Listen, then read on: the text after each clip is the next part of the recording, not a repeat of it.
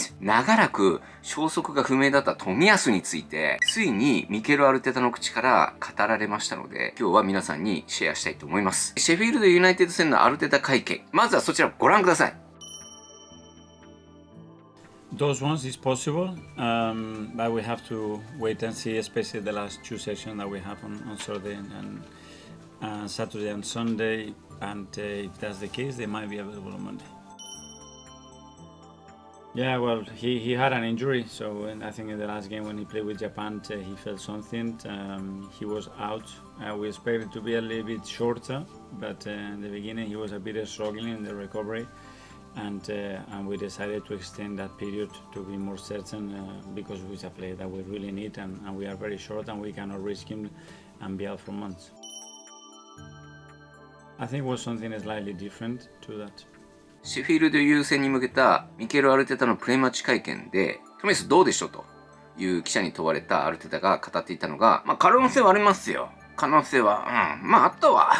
まああとは週末だろうな。うん。いうことで、まあ順調に来てますと。順調に来てるんだけれども、あと土日のセッション。このシェフィールド優先っていうのは、まあ月曜、ナイトゲーム、マンデーナイトのなので、土日に行われるセッションを見て、月曜日、スカット入りするかどうかを判断すると今週水曜日はですね、え、コルニーではなく、エミレスで全体練習が行われたんですが、その写真には、富安とチェンコっていうのが一切写ってなかったんですよ。写ってなかったんですが、どうやら順調には来ていると。で、富安の怪我の状況なんですけれども、富安の怪我は捻挫なんでしょうかっていう質問に対して、テタさんはこのように答えております。まあ、代表の最後の試合で、あいつは怪我して、うん、ま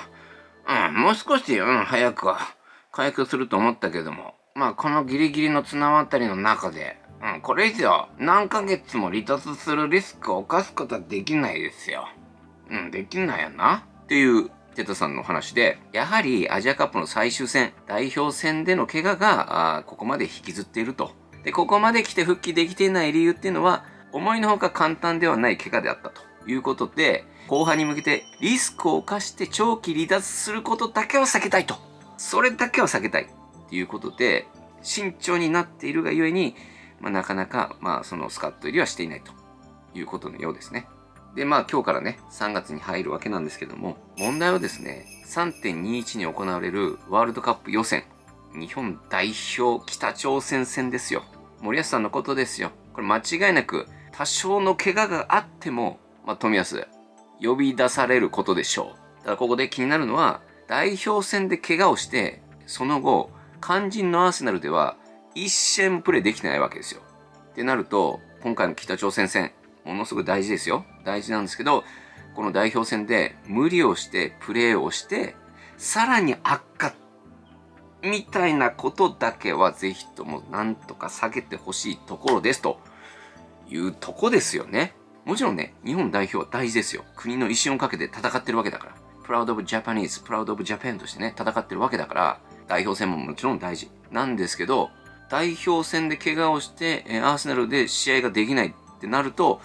ちょっと本末転倒なわけですよね。お金もらってのどっちなんでしたっけっていう話になってくるわけなんで、アーセナルは怪我を長引かせたくない、これ以上っていう一心で富安を大事に大事にリハビリさせてきたわけですよね。まあ3月21日までまあ3週間ぐらいあると思いますんで、その間富安さんもしかしたら復帰できるかもしれない。復帰できるかもしれないですけど、どの程度復帰できるかわからないわけですよ、今のところ。そこで、ようやく、まあ毛が明けました、治ったかな、みたいな状況で、まあスカット入りをして、で、またそこからすぐ代表戦に呼ばれるわけなので、そこで富安が万全の状況じゃない中でまた出して、そこからさらなる怪我が悪化っていう風になってしまうのは、森保さん。森保さん。森保さん。そこ本当お願いしたいってとこですね。まあ、おそらくそれに関してはまあ、クラブ側と代表側での話し合いっていうのはあると思いますが、富安は全力でやっちゃう子なんですから。ピッチに立てって言われたら立っちゃうんですから。その辺だけお願いしたいところでございます。はい。本当に。サルチャンネルで、まあ、富安に関してはそういう話なんですが、もう一人注目は、あティンバーですね。ユリエン・ティンバーでございます。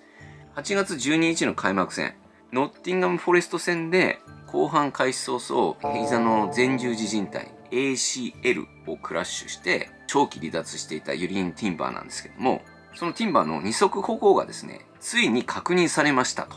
いう朗報でございます。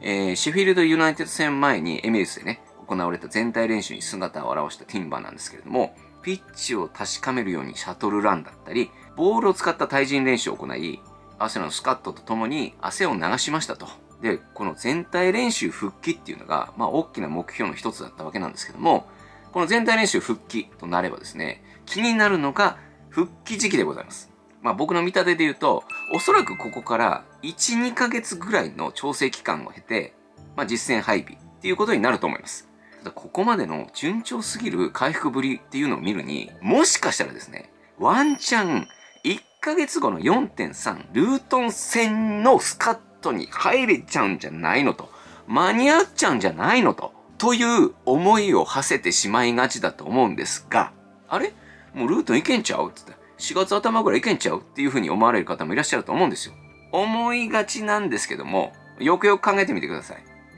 彼が負ったのは、膝の ACL、前十字靭帯っていう大怪我ですよ。これはもう完全にもうサッカー選手の生命線とも言える ACL ですよ。前十字ほど重い怪我なかなかないですよ。もちろんね、エドワルドとかアロン・ラムジーみたいにそういう大怪我ありますけども、そういうことをなきにすると、膝の ACL っていうのは一番の大怪我ですよ。most of the 大怪我ですよ。しかもティンバーは、ここワンシーズン、ほぼほぼリハビリしかしてない。開幕戦で怪我してるわけなんだから、一試合も出てない。と同義ですよね。もちろんその前にね、コミュニティシールドのシティ戦では先発してますけど、今季はほぼほぼリハビリと言っても過言ではありませんよ、そんな。そんな選手がですね、いくらトップアスリートとはいえですよ、これまでの試合間であったり、90分走れるフィジカルを取り戻すっていうのは、まあ、一筋縄でいきませんよって話ですよ。ティンバーのポジションっていうのは、左サイドバックですよ。一番フィジカルを求められる。もう90分永遠上下動しないといけないっていう。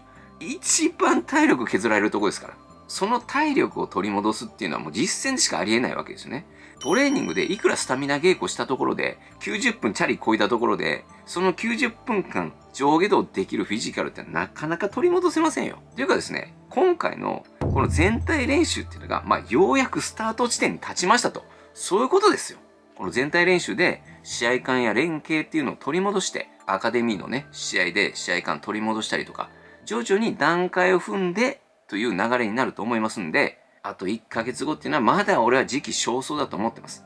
で、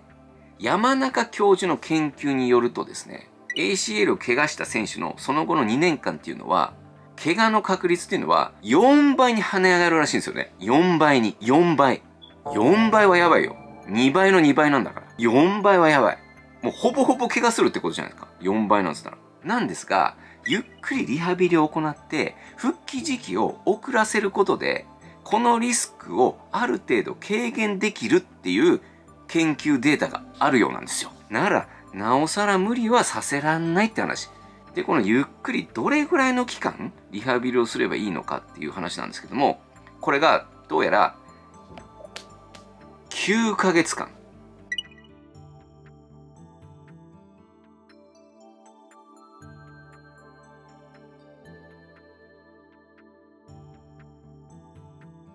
9ヶ月間をかけることで、ある程度のリスクを軽減することができるらしいんですよ。ティンバーが怪我したのが、昨年の開幕戦、8.12ノッティンガム・フォレスト戦なので、そこから9ヶ月っていうと、だいたい5月半ばになるわけですよ。っていうことは、っていうことは、ワンチャン最終節間に合うし、チャンピオンズリーグ決勝戦も間に合っちゃうよ、ということですね。はい。今年のチャンピオンズリーグ決勝っていうのは、6月ですからね。5月末ではなくて6月なんで、これはもう我々にとって朗報でしかないって話ですね。ね。ということでですね、えー、今日は富安とね、ユリエン・ティンバーの話してきましたが、3月に入って、怪我で戦線を離脱していた選手、ジェスス、富安、チェンコ、パーティー、で、パーティーも間近っていう話なんで、で、ティンバーも全体練習参加と。過密的後半に向けてですね、スカットが充実してまいりましたっていう話なんですよ。っていうか、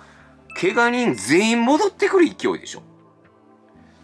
他にいないよね、怪我人。まあ、ティンバーはもちろんピッチにはまだ出られないけど、全体練習復帰っていうのはものすごい朗報じゃないですか。ってことはもう本当に、えー、怪我に全員戻ってくるぐらいの勢いがありますと。今んとこ、この3月に入って。っていうね、非常に朗報であるんですが、ただし、ただしですよ、皆さん、いつ転んでもおかしくないのがアーセナル。なんとかこの細い鉄骨をシーズン終わるまで渡り切ってほしいところでございます。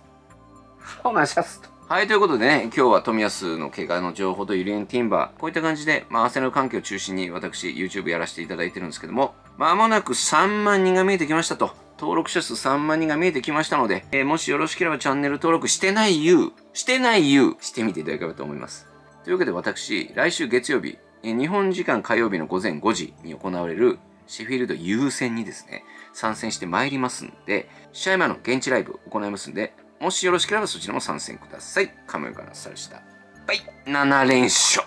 かかってるやつ。